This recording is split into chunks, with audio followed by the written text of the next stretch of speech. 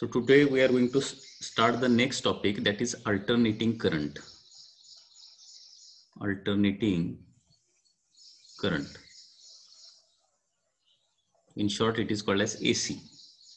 Alternating current, which is called as AC. Alternating current.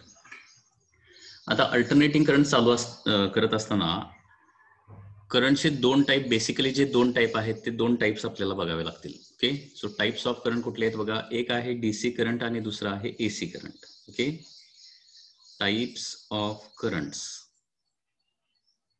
types of करंट्समध्ये basically दोन type आहेत. First is DC current okay first current is called as DC current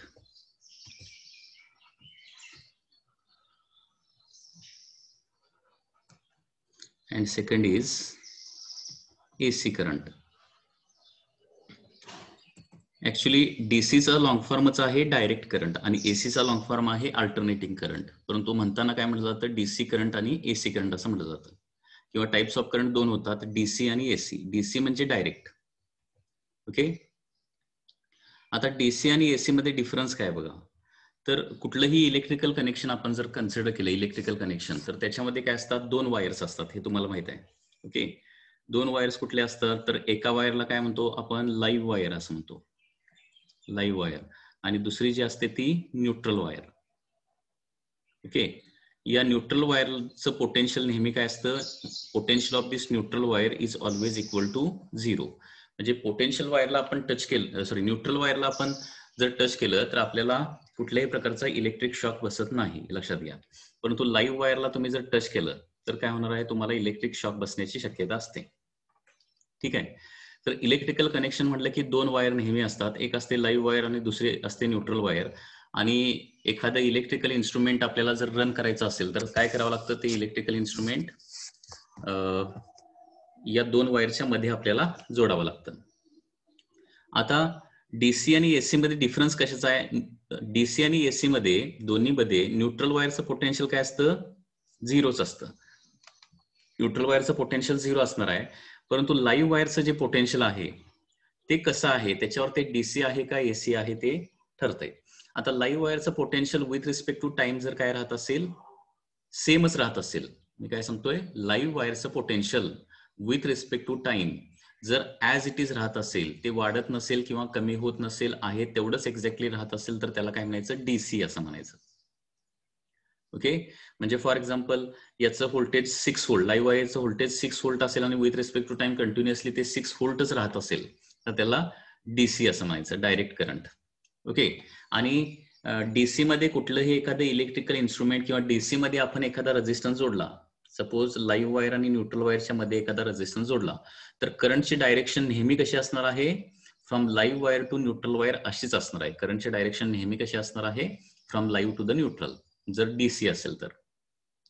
कारण live wire एका constant higher पोटेन्शियलला असते.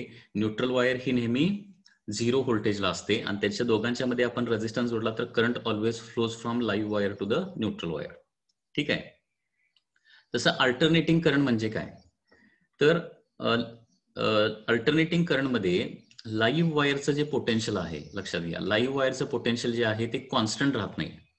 ते with respect to time voltage जे आहे ते कमी जास्त पण होत आहे आणि पॉझिटिव्ह आणि निगेटिव्ह पण होत आहे ओके म्हणजे लाईव्ह वायरचं व्होल्टेज एसीचं एसीचं voltage for example plus minus two thirty volt म्हणजे एसीचं व्होल्टेज लिहित असताना या पद्धतीने नेहमी लिहिलं जातं. Plus minus two thirty volt म्हणजे सुरुवातीला फॉर एक्झाम्पल झिरो असेल तर थोड्या वेळाने ते प्लस टू थर्टी होणार. त्याच्यानंतर परत झिरो होणार. म्हणजे कमी कमी होत जाणार परत झिरो होणार. परत काय होणार आहे? मायनस टू थर्टी होणार. ओके म्हणजे झिरोचं वाढत जाणार प्लस टू थर्टी होणार परत कमी कमी होत जाणार झिरो होणार परत आणखी कमी होत जाणार मायनस टू थर्टी होणार परत वाढत जाणार झिरो होणार. परत वाढत जाणार परत प्लस टू थर्टी होणार. म्हणजे लाईव्ह वायरचं व्होल्टेज जे आहे with respect to time constant राहत नाही. ओके ते कमी जास्त होतं आणि प्लस मायनस पण होतं. पॉझिटिव्ह निगेटिव्ह पण होतं. आणि याच्यामुळे होणार काय लक्षात घ्या? लाईव्ह वायर आणि न्यूट्रल वायरच्या मध्ये लाईव्ह वायर आणि न्यूट्रल वायरच्या मध्ये एखादा रेजिस्टन्स जोडला. आता लाईव्ह वायरचं पोटेन्शियल प्लस असेल न्यूट्रल वायरचं झिरो असेल तर करंट कसा फ्लो होणार? प्लस म्हणजे लाईव्ह टू न्यूट्रल असा करंट फ्लो होणार आहे. आणि लाईव्ह वायरचं पोटेन्शियल मायनस पण होतं ना. समजा मायनस झालं आणि न्यूट्रल वायरचं पोटेन्शियल तर नेहमी झिरो व्होल्टच राहणार आहे. आता minus is less than the zero आणि त्याच्यामुळे करंट इथं आता रेजिस्टन्स जोडला तर काय होणार आहे? Current will flow from neutral wire to the live wire म्हणजे करंटची डायरेक्शन काय होते? अल्टरनेट होते. फिक्स राहत नाही. करंटची डायरेक्शन काय होते? कंटिन्युअसली अल्टरनेट होते. फिक्स राहत नाही. आणि म्हणून याला काय म्हटलं जातं?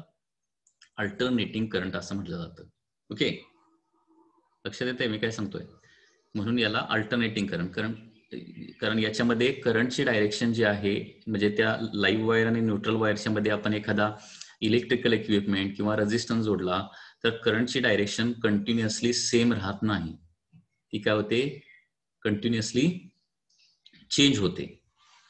ओके पर सेकंद कितीतरी वेळा चेंज होते. आणि पर सेकंद किती वेळा डायरेक्शन चेंज होते यालाच काय म्हटलं जातं? त्याची फ्रिक्वेन्सी असं म्हटलं जातं. पर सेकंद करंटची डायरेक्शन किती वेळा लाईव्ह टू न्यूट्रल न्यूट्रल ते लाईव्ह होते या पद्धतीने किती वेळा चेंज होते पर सेकंद त्याला काय म्हणतो आपण? त्या अल्टरनेटिव्ह करंटची फ्रिक्वेन्सी असं म्हणतो. म्हणून अल्टरनेटिव्ह करंटला काय असते? फ्रिक्वेन्सी असते. डीसी करंटला फ्रिक्वेन्सीचा काय संबंध येत नाही कारण डायरेक्शन चेंज होतच नाहीये. लक्षात येते तर याच्यामध्ये लक्षात घ्या. फर्स्ट डीसीची डेफिनेशन काय येणार आहे? डीसीची definition the current in which the current in which काय होणार potential of potential of live wire remains constant with respect to time with respect to time And therefore therefore direction of current direction of current ही नेहमी कशी असणार आहे? Direction of current is always from always from कशी असते? Live wire to neutral wire असते. Direction of current नेहमी कशी असते? Live wire to neutral wire असते. ओके म्हणजे डायरेक्शन ऑफ करंट जी आहे ती फिक्स्ड असते. Okay is called is is called as dc that is direct current is called as direct current किंवा शॉर्टमध्ये त्याला डीसी आपण म्हणतो. ठीक आहे? आणि एसी मध्ये काय होतं? अल्टरनेटिंग करंटमध्ये the current in which current in which potential of potential of live wire potential of live wire changes changes with respect to time changes with respect to time and become positive and negative positive and negative alternately alternately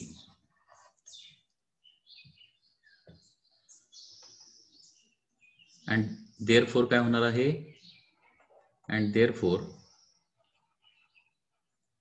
direction of current is alternately changed therefore direction of current is alternating direction of current जे आहे direction of current is continuously alternating direction of current काय होते continuously alternate होते continuously alternating is called as is called as alternating current. त्याला काय म्हणतो आपण? Alternating current असं म्हणतो. लक्षात येत आहे या पद्धतीनं डीसी आणि एसी ची इनिशियल कन्सेप्ट आहे. लक्षात घ्या. Okay so once again DC मध्ये आपण एखादा रेजिस्टन्स जोडला तर करंटची डायरेक्शन एकच असणार आहे. That is from live to the neutral wire ती डायरेक्शन उलटी कधीच होत नाही. आणि एसी मध्ये मात्र करंट कमी जास्त पण होतो आणि त्याची डायरेक्शन पण काय होते? रिव्हर्स होते. आणि पर सेकंड अनेक वेळा असं होतं. ओके तर त्याला how many times the direction of current alternate per second is called as frequency of alternating current त्याला फ्रिक्वेन्सी असं म्हणतो. तर आपला घरी येणारा जो एसी सप्लाय आहे एमएससीबी कडून येणारा जो सप्लाय आहे तो कितीचा असतो साधारणपणे? Plus minus two thirty volt and fifty hertz म्हणजे टू थर्टी होल्ट फिफ्टी हर्डचा सप्लाय जनरली आपल्याला घरी मिळतो. Okay supply from supply from M S C D C L पूर्वी याला एम एस सी बी म्हणायचं आता काय म्हणतात? M S E D C L म्हणजे Maharashtra state electricity distribution company limited. Maharashtra state electricity distribution company limited supply from M S C D C L is two thirty volt and fifty hertz म्हणजे live वायरची जी polarity आहे ती per second fifty times काय होते? Plus minus होत असते. Okay per second fifty times plus होणार आणि फिफ्टी टाइम्स काय होणार आहे? ते मायनस होणार आहे. ओके आता डीसी करंट जनरली कोण प्रोड्यूस करतं? तर डीसी करंट हे बॅटरीज प्रोड्यूस करतात. Okay generally batteries produces DC current आणि एसी करंट कोण प्रोड्यूस होतं?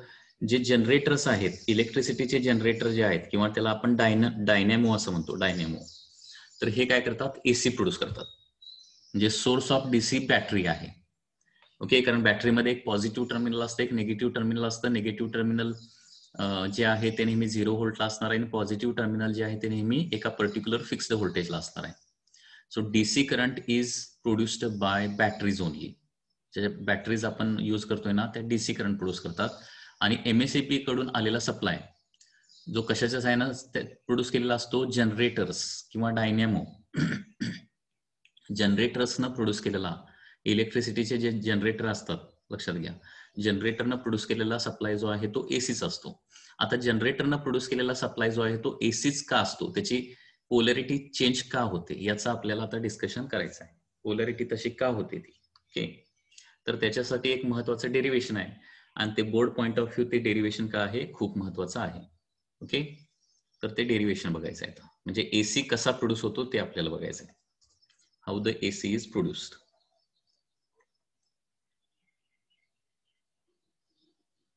तर for example board point of view असं एक क्वेश्चन असणार आहे. Obtain expression for obtain expression for E M F obtain expression for E M F induced E M F induced in coil rotating in magnetic field.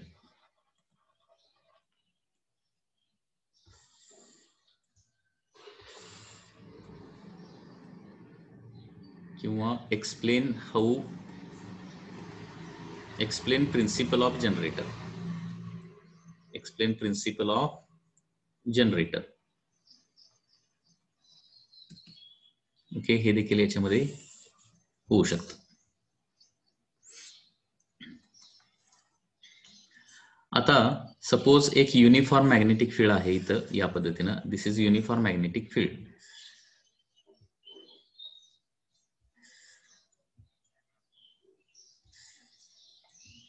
uniform magnetic field आणि या uniform magnetic फील्डमध्ये काय केलेलं आहे?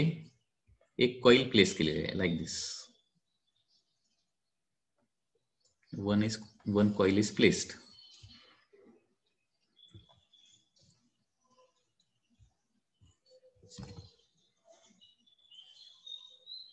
त्याची फक्त आपल्याला एक साइड दिसते.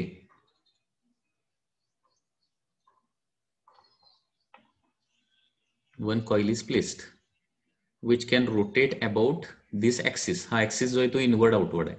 आणि या ऍक्सिस भोवती ही काय कॉईल काय होते? रोटेट होते लाईक दिस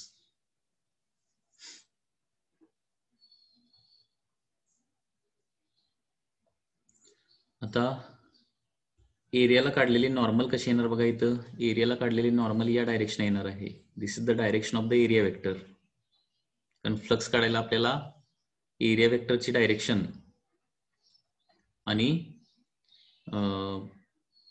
मॅग्नेटिक फील्डची डायरेक्शन या दोन्ही डायरेक्शन माहिती असणं आवश्यक आहे. तर ही तुमची झाली मॅग्नेटिक फील्डची डायरेक्शन दॅट इज बी आणि ही झाली एरिया वेक्टरची डायरेक्शन त्याला फॉर एक्झाम्पल एक एक कॅप असं म्हणूया. एक कॅप किंवा एन कॅप दोघांच्या मध्ये सपोज अँगल किती आहे? थीट आहे. ठीक आहे? तर हे डेरिवेशन कसं येणार बघा? Consider a coil rotating in uniform uniform magnetic uniform magnetic field आता एसी कसा प्रोड्यूस केला जातो याचं जर आन्सर असा जर क्वेश्चन विचारला तर त्याचा आन्सर काय येणार आहे? अल्टरनेटिंग करंट किंवा अल्टरनेटिंग ईएमएफ कसा प्रोड्यूस केला जातो? तर अल्टरनेटिंग ईएमएफ किंवा करंट प्रोड्यूस करायची सिम्पलेस्ट मेथड आहे एक कॉईल घ्यायची आणि ती मॅग्नेटिक फील्डमध्ये रोटेट करायची. हाय स्पीडनं रोटेट करायची. ओके एक कॉईल घ्यायची आणि मॅग्नेटिक फील्डमध्ये काय करायचे आहे? रोटेट करायचे this is the only simplest mean कारण इलेक्ट्रिसिटी प्रोड्यूस करायची तीच एक मेथड आहे. लक्षात घ्या. इलेक्ट्रिसिटी कुठं प्रोड्यूस केली जाते? जिथं डॅम्स आहेत मोठे मोठे डॅम आहेत त्या ठिकाणी इलेक्ट्रिसिटी प्रोड्यूस केली जाते. आणि ही इलेक्ट्रिसिटी कशी प्रोड्यूस केली जाते? तर डॅममध्ये जे साठवलेलं वॉटर आहे ते वॉटर फ्लो होऊ दिलं जातं. ते वॉटर कशावर पडलं जातं? टर्बाईन्सवर पडतं टर्बाईन्स आणि वॉटर टर्बाईन्सवर पडलं की ते टर्बाईनचे फील्ड रोटेट व्हायला लागतात. आणि ते टर्बाईनचे फील्ड कुणाला जोडलेले असतात? कॉईलला जोडलेले असतात. ज्यावेळी ज्यावेळी पाणी टर्बाईनवर पडणार त्यावेळी टर्बाईन फिरणार आहे. टर्बाईन म्हणजे फिल्स असतात की ज्याच्यावर पाणी पडत असते लक्षात घ्या. डिफरंट टाइप्स ऑफ टर्बाईन असतात लक्षात घ्या. तर हाय व्हेलॉसिटी वॉटर ज्यावेळी टर्बाईनवर पडतं म्हणजे टर्बाईनच्या फील्डवर पडतं त्यावेळी फील फिरतात. ते फील ते टर्बाईन किंवा टर्बाईनचं फील कुणाला जोडलेलं असतं? एका कॉईलला जोडलेलं असतं की जी कॉईल मॅग्नेटिक फील्डमध्ये ठेवलेली असते. आता टर्बाईनचं फील फिरायला लागलं की काय होतं? ही कॉईल देखील कॉईल देखील फिरायला लागते. आणि कॉईल मॅग्नेटिक फील्डमध्ये फिरायला लागले की इलेक्ट्रिसिटी प्रोड्यूस होते. परंतु ही जी इलेक्ट्रिसिटी जी आहे ती युनिडायरेक्शनल क्रिएट होत नाही किंवा डीसी टाईप क्रिएट होत नाही. ती अल्टरनेटिंग टाईपच क्रिएट होते. त्याला दुसरा काय पर्याय नाही. अल्टरनेटिंगच क्रिएट होते. आणि अल्टरनेटिंग का क्रिएट होते? तर ते आपल्याला इक्वेशन मधून लक्षात येईल. ठीक आहे? म्हणजे अल्टरनेटिंग करंट किंवा अल्टरनेटिंग ईएमएफ कसा प्रोड्यूस केला जातो? By rotating a coil inside a uniform magnetic field okay म्हणजे जनरेटर जनरेटर म्हणजे नेमकं काय असतं? जनरेटरचं कन्स्ट्रक्शन जर बघायचं झालं तर कन्स्ट्रक्शन या पद्धतीनं असणार आहे. तर लक्षात घ्या construction of generator is like this अशा प्रकारे एक हॉर्शू मॅग्नेट असतो. It is a strong horseshoe magnet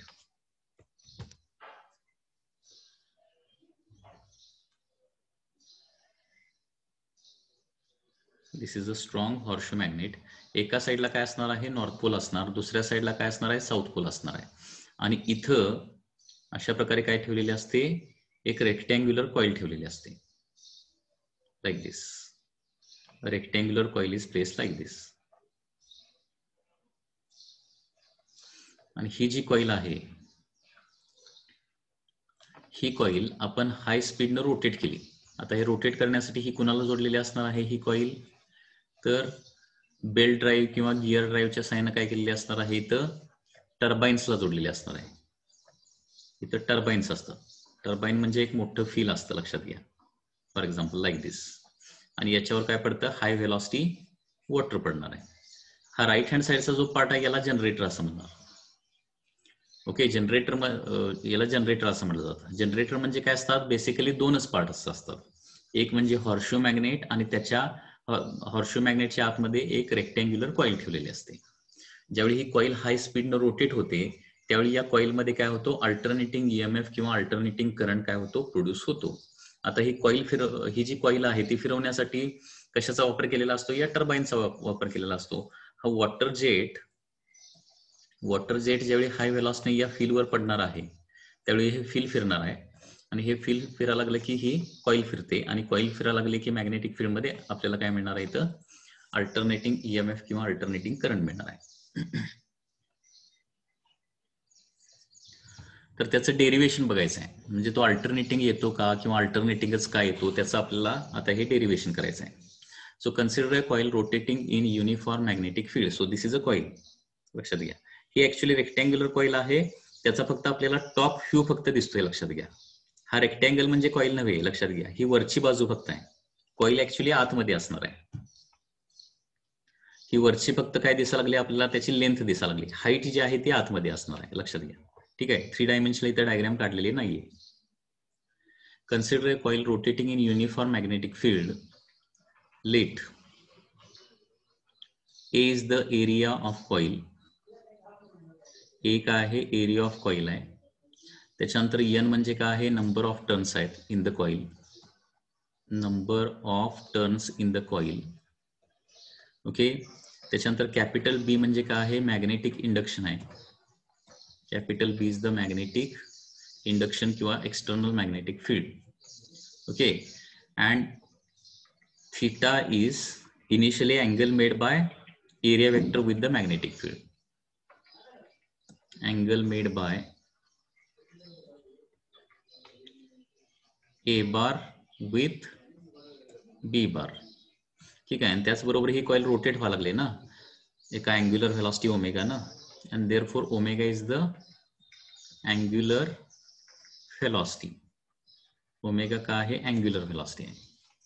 ठीक आहे तर सुरुवातीला आपण फ्लक्स काढूया. Flux acting on the coil we know that we know that elect uh, magnetic flux. We know that magnetic flux over coil. आता present कंडिशनला magnetic flux किती असणार आहे? Phi is equal to B A cos theta आपला हा general formula आपल्याला माहीत आहे. B A cos theta but this is for single turn आणि एन टर्न्स असतील तर N B A cos theta okay आपल्याला हा स्टँडर्ड फॉर्म्युला माहीत आहे मॅग्नेटिक फ्लक्सचा मॅग्नेटिक फ्लक्सचा फॉर्म्युला असतो बी ए कॉस्थिटा फक्त नंबर ऑफ टर्न्स एन असतील तर N B A cos theta formula वापरावा लागेल. ठीक आहे? But here theta is equal to omega T असं आपण लिहू शकतो. कारण अँग्युलर व्हेलॉसिटी ओमेगा म्हणजे काय असतं? थिटा डिवायडेड बाय टी असतं. Angular velocity is angular displacement divided by time so theta by T so theta is equal to काय येणार आहे? Omega t. टी सो फायचा फॉर्म्युला काय येणार आहे? N B A cos omega T येणार आहे. हा फ्लक्सचा फॉर्म्युला झाला. आता ज्यावेळी ही कॉईल रोटेट होणार त्यावेळी फ्लक्स काय होणार आहे? चेंज होणार आहे. का चेंज होणार बघा? N constant B constant area of the coil ते देखील कॉन्स्टंट परंतु थिटा कॉन्स्टंट राहणार का? नाही राहणार. कारण जशी कॉईल रोटेट होईल तसं थिटा कंटिन्युअसली चेंज होणार. थिटा चेंज होईल तसं कॉस थिटाची व्हॅल्यू चेंज होणार आणि कॉस थिटा चेंज होईल तसं फ्लक्स चेंज होणार आहे. म्हणजे दिस कॉईल ही ज्यावेळी ही कॉईल रोटेट होणार त्यावेळी काय होणार आहे? This coil is subjected to changing magnetic flux म्हणजे ज्यावेळी कॉईल रोटेट होणार त्यावेळी काय होणार आहे? It is subjected to changing magnetic flux आणि तुम्हाला माहीत आहे की whenever a coil is subjected to changing magnetic flux EMF is induced in that coil whenever a coil is subjected to changing magnetic flux emf is induced in that coil ठीक आहे so as theta is changing rotate व्हायला लागले theta changes होणार आहे with respect to time magnetic flux magnetic flux changes with respect to time and EMF is induced. EMF is induced in coil. त्या coil मध्ये काय होणार आहे EMF induce होणार आहे आणि तो अल्टरनेटिंगच असणार अल्टरनेटिंग का असणार हे तुमचं ईएमएफचं इक्वेशन तुम्ही बघितल्यानंतर तुम्हाला लक्षात येईल. ओके आता इंड्युस्ड ईएमएफचा फॉर्म्युला काय आहे? त्याला काय म्हणतो आपण? लेन्स लॉ असं म्हणतो. By Lenz law EMF induced is given by formula ईएमआयमध्ये आपण बघितलंय. EMF induced is equal to minus D phi by D T असतं. That is minus D by D T of phi म्हणजे काय आहे? N B A cos omega T आहे. Phi म्हणजे काय आहे? N B A cos omega T so E is equal to minus N B A तर कॉन्स्टंटच आहे. ते काही चेंज होत नाही. आता कॉस ओमेगा टीचं डेरिव्हेटिव्ह जे आहे ते काय येतं? कॉस ओमेगा टीचं मायनस साईन ओमेगा टी आणि परत ओमेगा टीचं काय येणार आहे? ओमेगा येणार. आता मायनस मायनस काय होणार आहे? प्लस होणार. सो ईएमएफ इंड्यूस येणार आहे minus minus plus okay N B A omega sine omega T N B omega sine omega T so this is the standard formula for EMF induced in rotating coil म्हणजे एखादी coil कारण या पद्धतीनंच electricity produce केली जाते. Electricity produce करायची दुसरी simplest method कुठलीही नाही लक्षात घ्या. म्हणजे कॉईल जी आहे ती हॉर्शो मॅग्नेटच्या मध्ये फिरवायची. This is the most simplest method to produce electricity. आणि या मेथडनं इलेक्ट्रिसिटी प्रोड्यूस केली तर आपल्याला मिळणारा जो ईएमएफ आहे त्याचं इक्वेशन हे आणि हेच फक्त येणार आहे. ठीक आहे? आता ईएमएफ इंड्युस्ड जे आहे it is a function of sine आहे लक्षात घ्या. ईएमएफ इंड्युस्ड का आहे? फंक्शन ऑफ साईन आहे. म्हणजे काय होणार आहे इथं आता? साईनची व्हॅल्यू आता टीची व्हॅल्यू तर टी म्हणजे टाइम टाइम तर चेंज होणार आहे कंटिन्युअसली ओके? आणि त्याच्यामुळे साईनची व्हॅल्यू काय होणार आहे? कंटिन्युअसली चेंज होणार. आणि साईनची व्हॅल्यू चेंज होणार म्हणजे काय? साईनची व्हॅल्यू कुठून कुठंपर्यंत व्हॅरी होते? Zero to plus one. वनपासून परत झिरो. झिरो पासून मायनस वन आणि मायनस वनपासून झिरो. साईन ओमेगा टीची व्हॅल्यू जी आहे ती minus one to plus one काय होऊ शकते? चेंज होऊ शकते. लक्षात घ्या. कारण ओमेगा टी आता ओमे साईनच्या आतमध्ये काय असतं अँगल असतो ना हा टाइम वाढत जाईल तसा ओमेगा टी म्हणजे अँगल वाढत जाणार आहे. हे बघा आता ओमेगा टी म्हणजे अँगल सुरुवातीला अँगल झिरो डिग्री असेल तर साईन झिरो झिरो होणार आहे. नंतर कधीतरी नाईन्टी डिग्री होणार म्हणजे साईन ओमेगा टी वन होणार. त्याच्यानंतर नाईन्टीचं कधीतरी वन एटी होणार म्हणजे साईन वन एटी म्हणजे झिरो होणार. परत वन एटीचं कधीतरी टू सेव्हन्टी होणार टू सेव्हन्टी होणार म्हणजे sine two seventy minus one होणार. मग थ्री सिक्स्टी होणार थ्री सिक्स्टी होणार म्हणजे किती? झिरो होणार परत. परत थ्री सिक्स्टीच्या पुढं परत थ्री सिक्स्टी प्लस नाईन्टी म्हणजे किती होणार आहे? कधीतरी फोर फिफ्टी होणार. फोर फिफ्टी झाला की परत साईनची व्हॅल्यू किती येणार? वन येणार. म्हणजे ही ओमेगा टीची व्हॅल्यू जी आहे ती अँगल असणार आहे. ती zero ninety one eighty two seventy three sixty असा अँगल वाढतच जाणार. परंतु अँगल जरी वाढत गेला तरी साईनची व्हॅल्यू मात्र काय होणार? Zero one zero minus one zero one zero minus one अशी रिपीट होत राहणार. ज्यावेळी साईन ओमेगाटीची व्हॅल्यू झिरो असणार आहे त्यावेळी EMF induced in the coil zero असणार आहे. ज्यावेळी साईन ओमेगाटीची व्हॅल्यू वन होणार आहे त्यावेळी EMF induced N B A omega होणार. ओके ज्यावेळी साईनची व्हॅल्यू साईन परत झिरो होणार आहे त्यावेळी परत झिरो होणार. म्हणजे अशा प्रकारे ईएमएफ इंड्युस्ड इन द कॉईलचा फॉर्म्युला जो आहे तो काय होणार? Zero plus N B A omega परत झिरो त्याच्यानंतर minus N B A omega परत झिरो ओके? परत plus N B A omega. या पद्धतीनं कॉईलमध्ये इंड्यूस झालेला ईएमएफ जो आहे तो कॉन्स्टंट राहत नाही. तो काय होतो? With respect to time change पण होतो आणि तो वाढत पण जातो आणि विथ रिस्पेक्ट टू टाइम वाढत जातो कमी जातो कमी होतो म्हणजे चेंज पण होतो आणि त्याचबरोबर तो पॉझिटिव्ह निगेटिव्ह पण होतोय लक्षात घ्या. आणि विथ रिस्पेक्ट टू टाइम तो ईएमएफ कॉन्स्टंट राहत नसल्यामुळं त्याला काय म्हटलेलं आहे? अल्टरनेटिंग म्हटलेलं आहे. अल्टरनेट होतो म्हणजे पॉझिटिव्ह निगेटिव्ह होतो. चेंज होतो कंटिन्युअसली आणि म्हणून या ईएमएफ ला काय म्हटलेलं आहे? अल्टरनेटिंग ईएमएफ म्हणलंय आता इथं मॅक्सिमम व्हॅल्यू ऑफ ईएमएफ किती असणार आहे? म्हणजे ज्यावेळी साईन ओमेगाटीची व्हॅल्यू वन असेल त्यावेळी काय होणार आहे? ईएमएफ काय असणार आहे? Maximum value okay so here maximum value of EMF त्यालाच काय म्हटलं जातं? पीक व्हॅल्यू असे म्हटलं जातं. Peak value of EMF peak value of EMF काय येणार आहे? Is E naught is equal to काय असणार आहे? एन बी ए ओमेगा असणार. N B A omega E naught म्हणजे काय येणार आहे? N B A omega and therefore E M F induced शॉर्टमध्ये या पद्धतीने लिहिणार E naught sine omega T E naught sine omega T ठीक आहे? इंड्युस्ड चा फॉर्म्युला काय येणार आहे? Is equal to E naught sine omega T आता याचा काय करूया? आपण ग्राफ काढूया. ग्राफ कसा येणार बघा?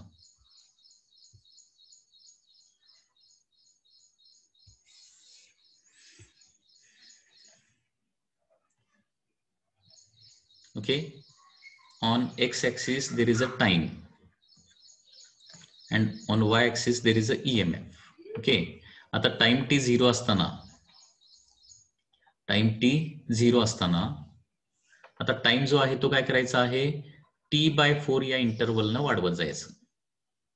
टी बाय फोर या इंटरवलनं वाढवत जायचं आहे. ठीक आहे? टाइम झिरो असताना omega T zero EMF zero त्याच्यानंतर टाइम घेणार आहे मी capital T by four capital T म्हणजे काय? एक रिव्हॉल्युशन कॉईलला एक रिव्हॉल्युशन कंप्लीट करण्यासाठी लागणारा वेळ. त्याला कॅपिटल टी टाइम पिरियड असं म्हणतो. ठीक आहे? टी बाय फोरमध्ये टी टाइममध्ये एक रिव्हॉल्युशन कंप्लीट होते ना? मग टी बाय फोरमध्ये काय होणार? क्वार्टर रिव्हॉल्युशन कंप्लीट होणार म्हणजे काय येणार? इथं नाईन्टी डिग्री अँगल येणार. नाईन्टी डिग्री मध्ये टी बाय फोरमध्ये नाईन्टी डिग्रीनं रोटेट होतं लक्षात घ्या. टी टाइममध्ये एक रिव्हॉल्युशन कंप्लीट करतं म्हणल्यानंतर टी बाय फोरमध्ये ते नाईन्टी डिग्रीनं रोटेट होणार. म्हणजे इथं ओमेगा टीची व्हॅल्यू काय येणार आहे? नाईन्टी येणार. किंवा हे असं पण चेक करू शकताय omega into T by four किती येणार? टी बरोबर टी बाय फोर घेणार ना? ओमेगा म्हणजे two pi by capital T into T by four T T get cancel आणि हे किती येतं? पाय बाय टू येणार. सो टी बरोबर टी बाय फोर ठेवलं तर साईन पाय बाय टू येतं आणि साईन पाय बाय टू म्हणजे काय होणार आहे? ईएमएफ त्यावेळी मॅक्सिमम झालेला असणार आहे. ओके ईएमएफ मॅक्सिमम झालेला असणार आहे. दॅट इज किती झालेला असणार आहे? प्लस ई नॉट झालेला असणार आहे. आणि इथं मायनस ई नॉट. म्हणजे हा पॉइंट येणार.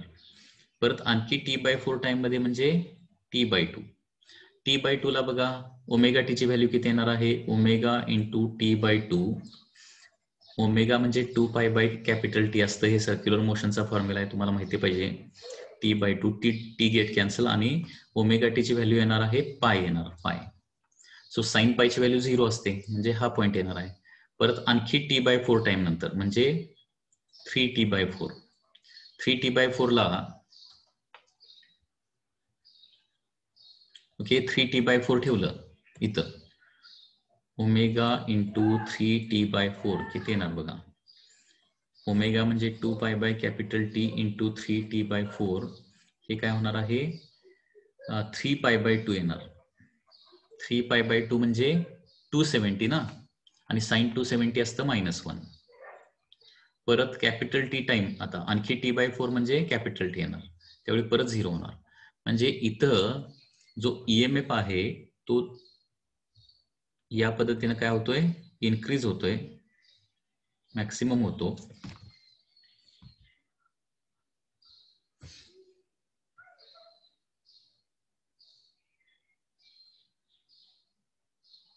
या पद्धतीने हा चेंज होणार आहे लक्षात घ्या.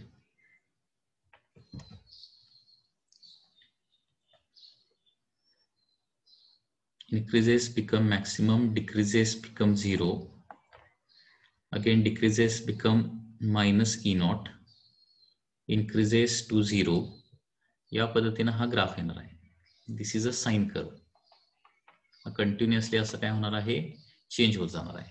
सो फ्रॉम द ग्राफ काय होणार आहे this is the graph of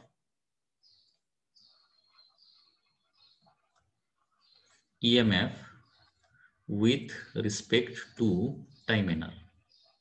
So as EMF is changing with respect to time, as EMF is changing with respect to time. Okay, it is called as it is called as alternating it is called as alternating EMF तो EMF constant राहत नसल्यामुळं with respect to time त्याला काय म्हणतो आपण? Alternating EMF असं म्हणतो. लक्षात येत आहे तर अशा प्रकारे अल्टरनेटिंग ईएमएफ ची ही कन्सेप्ट आहे. आणि हा अल्टरनेटिंग ईएमएफ एखाद्या रेझिस्टन्सला जोडला तर त्याच्यामुळे काय होणार आहे? त्या रेझिस्टन्समध्ये मध्ये करंट डेव्हलप होणार. आणि तो करंट देखील काय होणार आहे? जर ईएमएफ वाढत गेला तर करंट वाढत जाणार. ईएमएफ झिरो झाला तर काय होणार? करंट देखील झिरो होणार आहे. So current produced by alternating EMF is called as alternating current त्याच्यामुळे अल्टरनेटिंग करंटची डेफिनेशन काय येणार बघा? एसीची definition current produced by current produced by alternating EMF is called as is called as alternating current okay current produced by alternating EMF is called as alternating current okay म्हणजे एसीची पूर्ण definition लिहायची झाली तर अशी होणार आहे the current produced by alternating EMF which changes with respect to time and become positive and negative alternatingly with respect to time is called as alternating current. असे फुल डेफिनेशन अल्टरनेटिंग करंटची होणार आहे. Okay so this is the just introduction of the alternating current आणि त्याच्यामध्ये काय आहे? हे एक important derivation of alternating current आहे. म्हणजे अल्टरनेटिंग करंट डेव्हलप कसा होतो? आणि अल्टरनेट का होतो? याचं हे रिझन आहे. ओके त्याला अल्टरनेट